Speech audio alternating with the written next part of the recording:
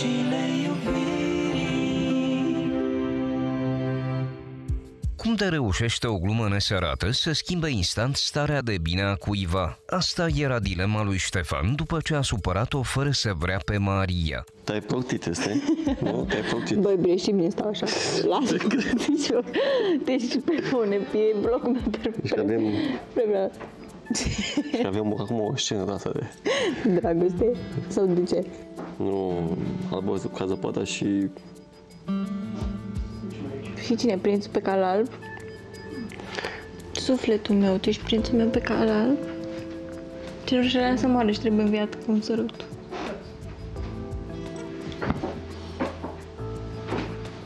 Levi, eu pup, tu te rog. Și am simțit. Vezi că gluma asta nu mi-a plăcut deloc. Nu vezi, băi, bine. Iubire, Știu, știu, a fost un pic caro. cere scuze. Îmi cer scuze. Te scuze. Vreau să iau iepurile și când m-am dus capul a fost... Iubire, astea nu-s glume de Așa, făcut. așa, așa. Ne-a revenit acum? Dar sunt curios acum. Ce ești curios? Pe bune, să fie ultima dată când faci glume de astea. Da, a fost o glumă sărată. Nu, o glumă A fost o glumă proastă, proastă. care nu-și avea locul. Da, dar cum s-a trecut starea? Instant. Chestia asta? Că erai așa, zen. Unde Păi s-a- normal, că o glumă proastă, normal că Deci schimbă o știi, stare. dar unde s-a logic. dus cu Hai să tine? zic eu, Păi n-am făcut niciodată cum a fost. Laura vino și pupă pe Ștefan. N-a fost... Să treci peste, n-a fost niciodată cum a fost făcută între noi doi. Asta a fost primul. Dar unde te-a dus mai exact starea asta? Că ești Nesi, rău, tu, cu glumele astea. Asta m-a dus, acolo m-a dus.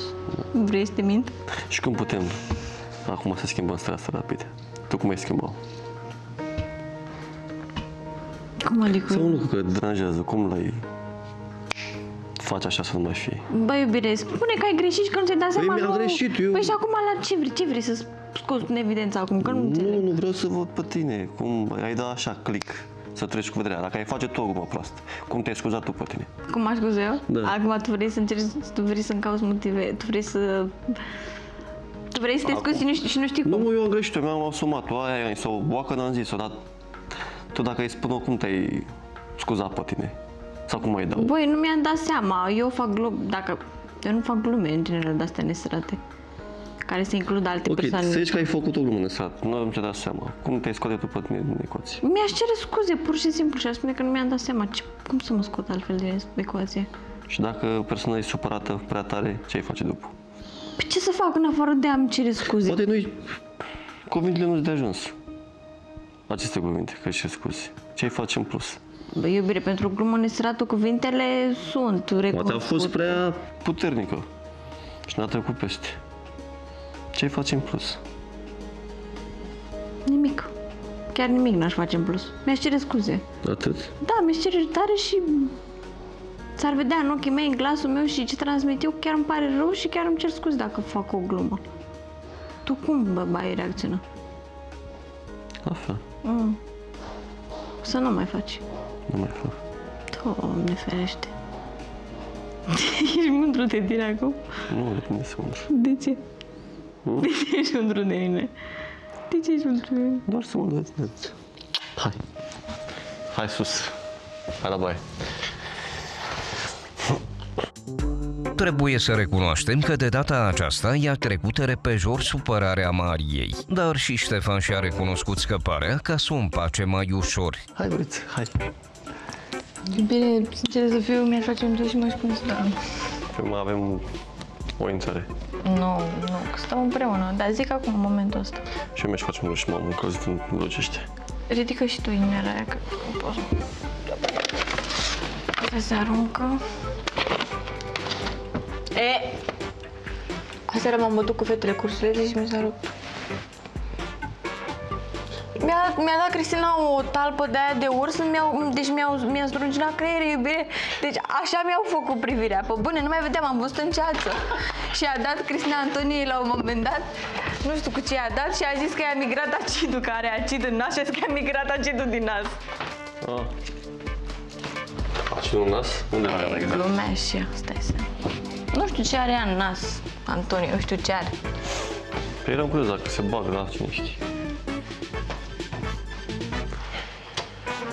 Are dezastros, nu? Nu, tu ești mereu frumos, când și uite.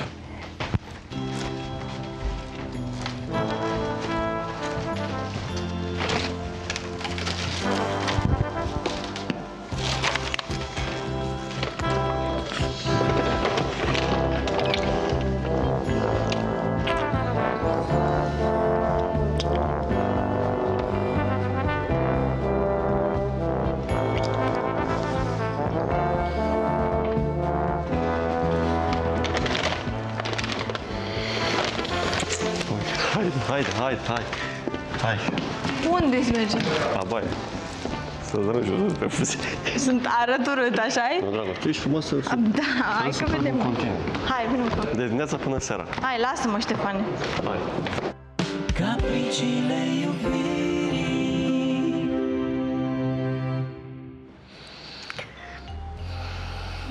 Cam așa, cam asta a fost fața ta după ce s-au terminat imaginile.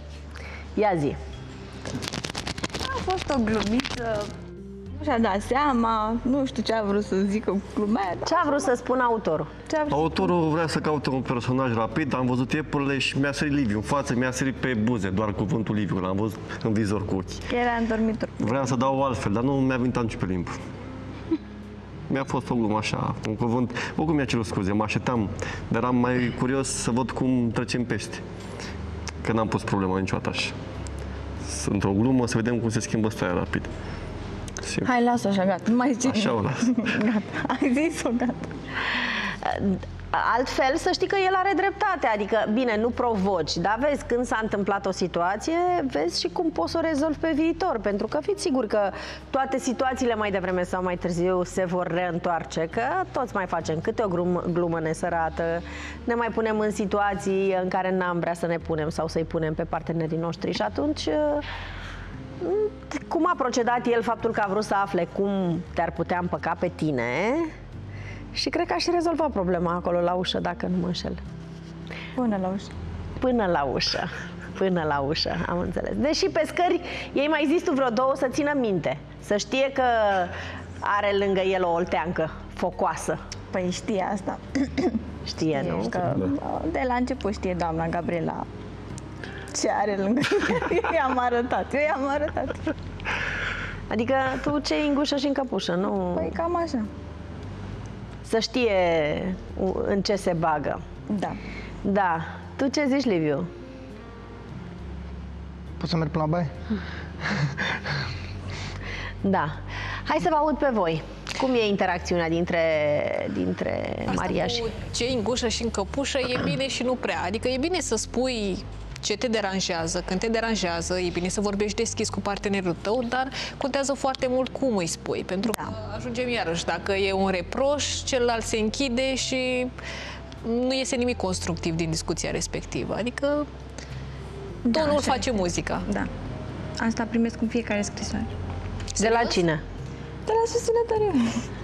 Și tu ce părere Tonul ai? face muzica, tonul face muzica. Da, știu. E adevărat, dar în altă ordine de idei, doamnelor și domnilor, ați vrea să se prefacă, să fie altfel? Învață! Să știți că în, în momentul în care ne-am născut, n-am venit și cu manual de utilizare. Mamele uh, au învățat cum să ne crească pe fiecare în parte. Când îți alegi un, bărba, un bărbat, nu vine cu manual de utilizare, cum nicio femeie nu vine cu manual de utilizare. Dar nu e vorba de prefăcătorie, că până la urmă să știi că un obicei se schimbă făcând Adică dând sens obiceiului cu altceva. Adică dacă tu tinzi să reproșezi, trebuie să faci un efort conștient care să nu mai spui sub formă de reproș, ci să fie o chestie constructivă. Adică și aici nu e vorba că te prefaci, ci pur și simplu exersezi și îți obișnuiești creierul să rea pă, alte obiceiuri față de cele pe care le-ai avut. Da, adică poți să spui ce te deranjează și într-un mod mai asertiv, adică și poți să-ți exprimi nevoile și altfel. Pot să, pot să fiu și eu sinceră cu voi? Da. De ale psihologilor. Da, ok. Viața, realitatea Știi că eu am pus în practică și... de ale psihologilor. De ale psihologilor, Uneori dacă este cu funcționează antrenament, și da. ești pe plus, e bine.